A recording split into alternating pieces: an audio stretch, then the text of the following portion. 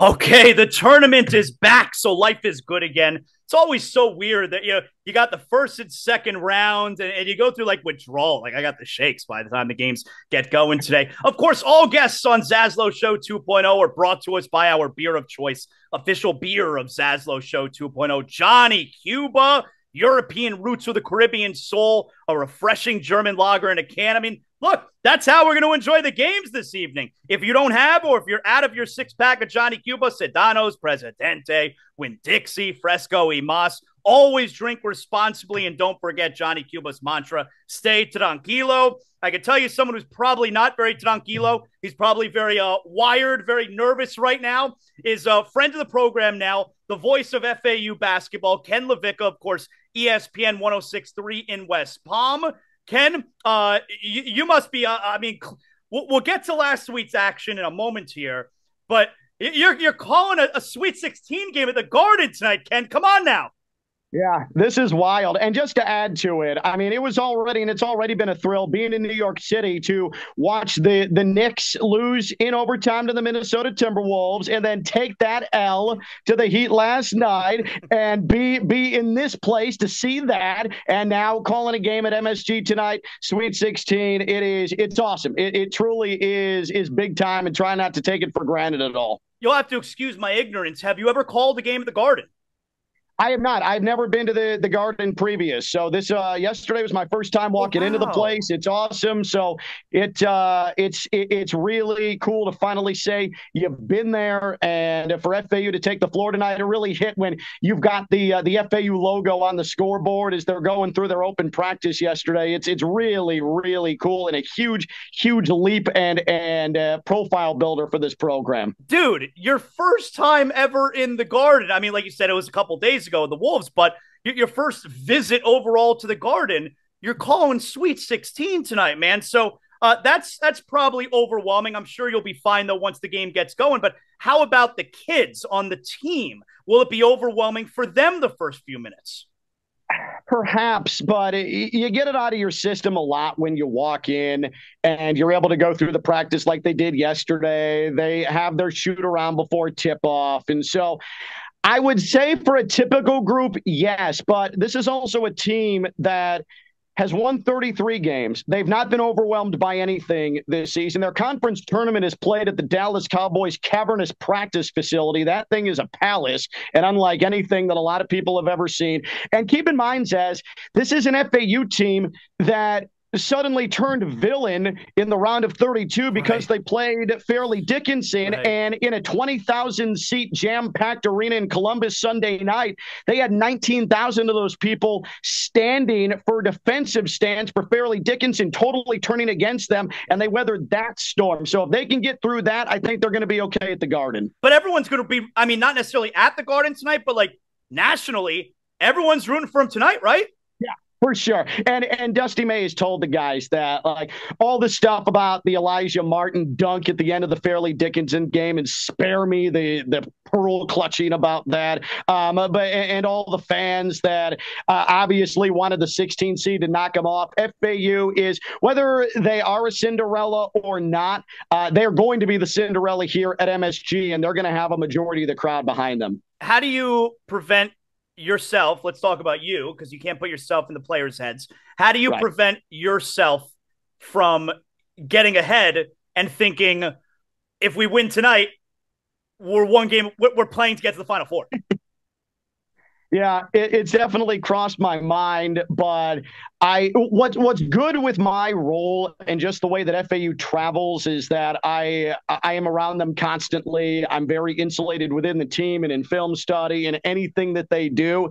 So I very much too am brainwashed by the Dusty May pay attention to what's immediately ahead of you and not look ahead too much. Have I thought about who the better matchup for FAU would be, Michigan State or Kansas State? Yeah, I definitely have, but it's been full fledged Tennessee. They're physical. They were handing out concussions to Duke right from tip and set the tone with that game. So uh, these players, especially, but even me, it seeps into to me is hey, Tennessee first and foremost, and then you appreciate the fact you're 40 minutes from the Final Four if you can get to Saturday.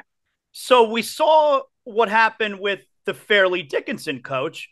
He up and dipped like five minutes after they they they were eliminated, and he is now the head coach at Iona. So, do we worry about Dusty May? I mean, I think obviously you do. And uh, Tobin Anderson, I'll give him credit. He he took those four days that people knew who he was, and he made it the Tobin Anderson reality show, and good for him. And he was able to parlay it into the Iona job. Uh, for for Dusty May, if he does take another job, and you look, it looks like Providence is filled up. That could have potentially been a, a Dusty May landing spot. Uh, you have uh, uh, Ole Miss that got filled up. That was a potential Dusty. Dusty May landing spot. Notre Dame filled up. That could have been potentially Dusty May. There's still Penn State lingering out there. But Dusty, if he does leave FAU and, and you, you can't blame him. He's done an unbelievable job, has earned any opportunity that he gets past Florida Atlantic. It will be because he built something from literal nothing, from its base, from scratch. And so there's that concern. But man, a guy who's been at FAU, Florida Atlantic of all places, for five seasons, finish above 500 every single year, won Conference USA, won 33 games in a season, and has this team in the Sweet 16. It, common sense would dictate, yeah, Dusty's going to have his pick of jobs. Obviously, obviously, we hope he sticks around. Um, I, am not so much concerned though, and I, I'm more proud of him if he does end up going somewhere else because, good lord, more than anybody, this dude has earned it. So let's talk about last week. All right, we had you on the show last Friday ahead of the first game. All right, so now yeah. you, are going into the into like I said, you, you're a game away from playing for the Final Four now. Um, so the first time I, have done a handful of games in the NBA for the Heat, yep. and the very first game that I did was actually a Heat Knicks game a few years ago, and I was it, it was it was the final possession of the game. It was a one point game. So coming out of that timeout, I said to myself, "Wow, first game you're ever doing." You're going to call a game winning either shot or stop. You better not F it up because this is going to be played in a bunch of different places, the final play. Like, so let's make it good, you know? And I think it worked out fine. Bam yeah. actually made the stop. He got the rebound. Heat won. But I, I think it I think it went fine. So when you were getting ready for the final call, which ended up being a final two possessions, but you, you know what I'm saying? Uh, like, what was going through your mind?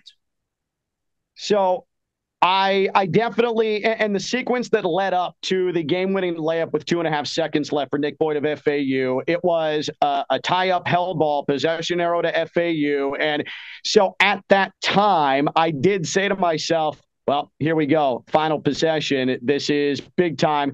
Just be on. But I never, I'm telling you, Zaz, I never pre-script anything. I just, I, I don't do it. I've been doing play-by-play for 17 years. Before that, minor league baseball. Before that, college level stuff.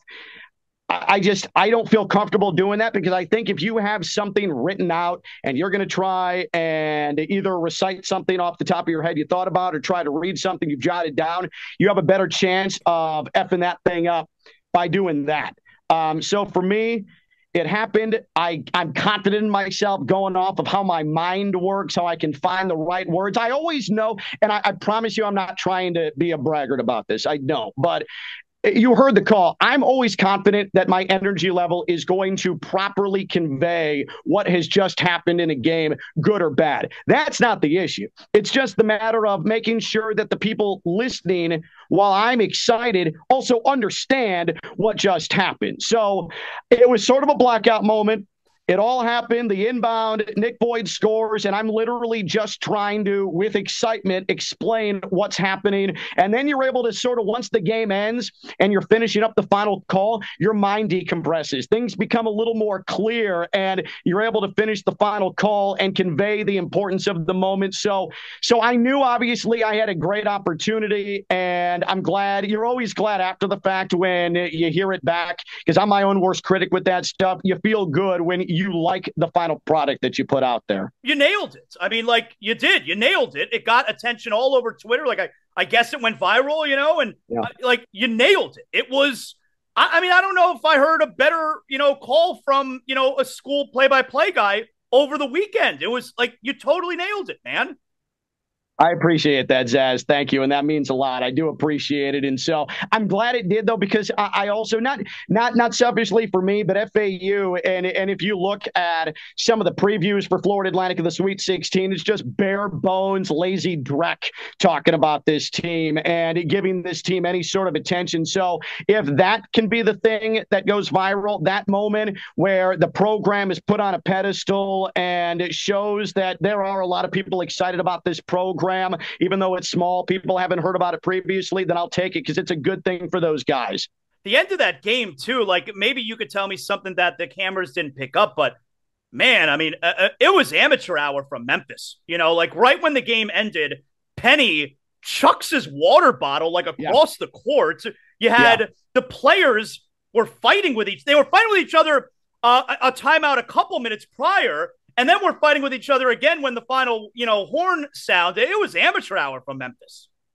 Zaz, I and I don't mean to be disrespectful to Penny Hardaway, but boy, that team has taken on his personality. He is surly. He is temperamental. He's got constant 100% chip on shoulder. And I suppose if you're an old time great, a lot of those guys are able to generate their their own uh, disrespectful narrative to drive them. He's carried that though into his coaching, and that is not a cohesive unit. And when things got tight late, the cohesive team, the team won the game against Memphis. That that altercation in the huddle so their their big time guard Kendric Davis, who is awesome. I mean, that dude is nice.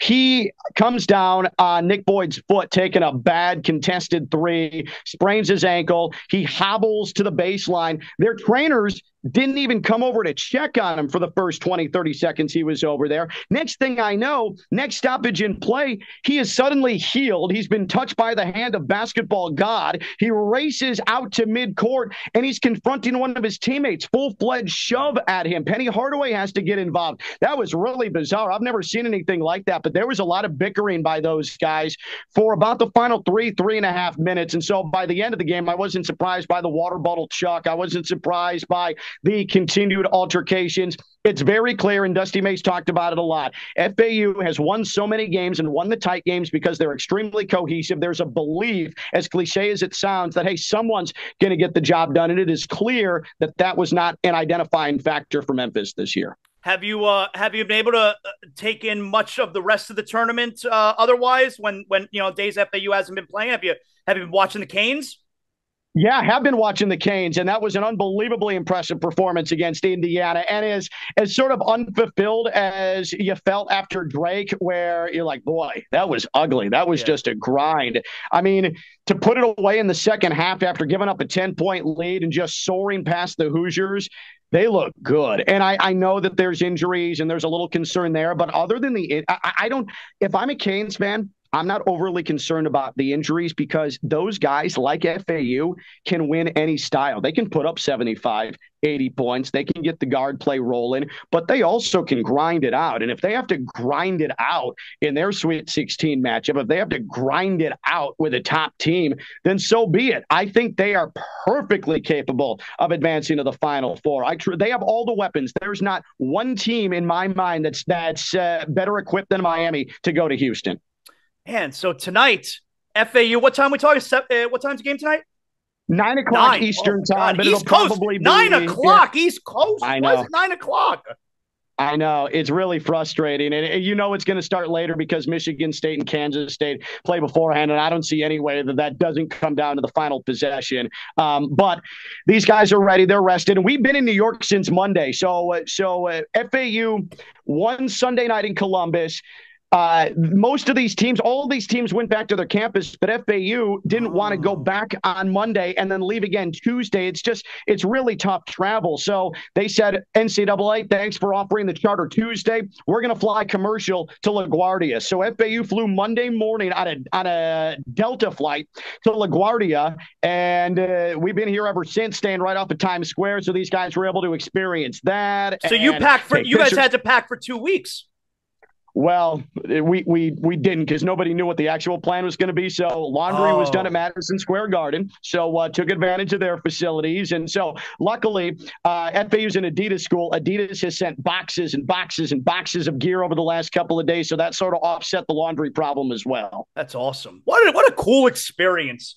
That's yeah. good stuff, man. Uh, all right, tell again to everyone. Uh, tell again how everyone can can hear your call tonight if they don't want to watch, or maybe they, maybe they want to mute the TV and listen right. to your broadcast. Right. That that's how you do it. Tell everyone. I love it. It's the FAU Basketball Radio Network from Learfield all throughout uh, South Florida, but also uh, use the Varsity Network app. It is free. Just download it on your phone. You can sync it up with your television. It's by Learfield. You don't have to pay a cent.